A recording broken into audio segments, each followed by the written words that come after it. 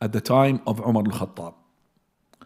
Umar al-Khattab, radiallahu anh, he had put a mayor or a leader for Mecca. Uh, his name is Nafi'. And when he made Hajj, he met him. And he said to him, Whom did you put on the leadership of Usfan? Usfan is a valley and it belongs to the province of Mecca.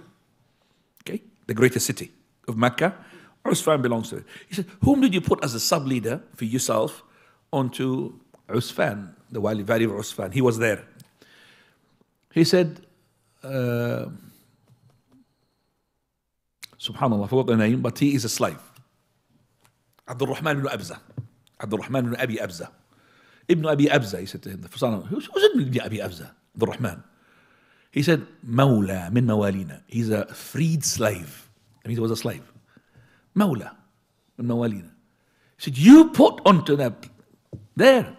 Mawla? Slave he was? He said, for verily, he is the most learned regarding the Quran. And he is the most learned regarding the inheritance law, fara'id. He said, Sadaqa Rasulullah. Prophet was truthful. Inna Allah, verily Allah, aqwaman biha bil kitab wa yada'u bihi akharin. Allah with this book will elevate people and He will put down other people. So the ones who take hold of this book, Allah will elevate them. In the dunya and in the akhirah and in the grave. Three lives. Dunya, graveyard, and the akhirah. And He will put them down, the ones who abandon the Quran. In the dunya, look what happened to this person. He becomes a leader, an imam. A person who can maybe doesn't speak Arabic. Maybe a person who was a slave. Person who is not even from the mainstream of this community. Uh, is from, let's say, Nicaragua, whatever the country. And he learned the Quran. He deserves to be the imam. And he's been employed an imam.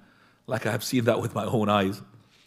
That a person embraced Islam in one community which I used to lead in imamah I seen him before Muslim. I seen him when he became a Muslim. Then after six years he left to learn the Quran.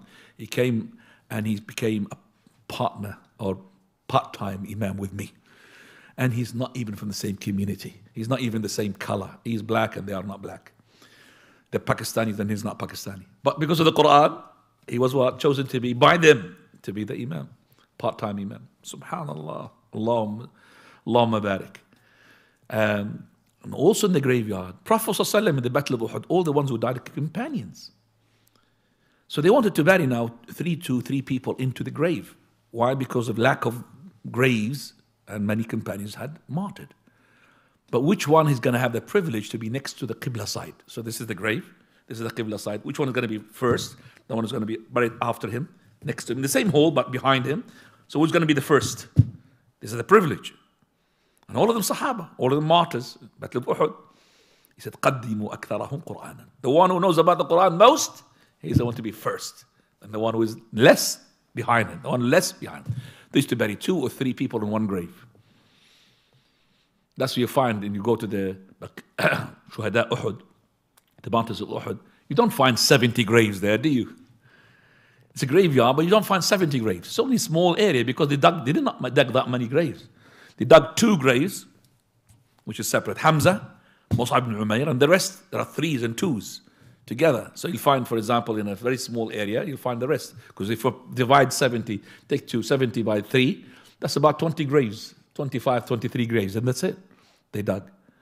So he is honored as well in the akhirah, not just in the graveyard. In the akhirah, the Quran place will make him to iqra, warattil, wartaqi, recite and beautifully recite and elevate. فَإِنَّ مَنْزِلَتَكَ for verily low rank in the akhiri ayatin taqra'uha. To the last ayah which you recite in the dunya, in this dunya.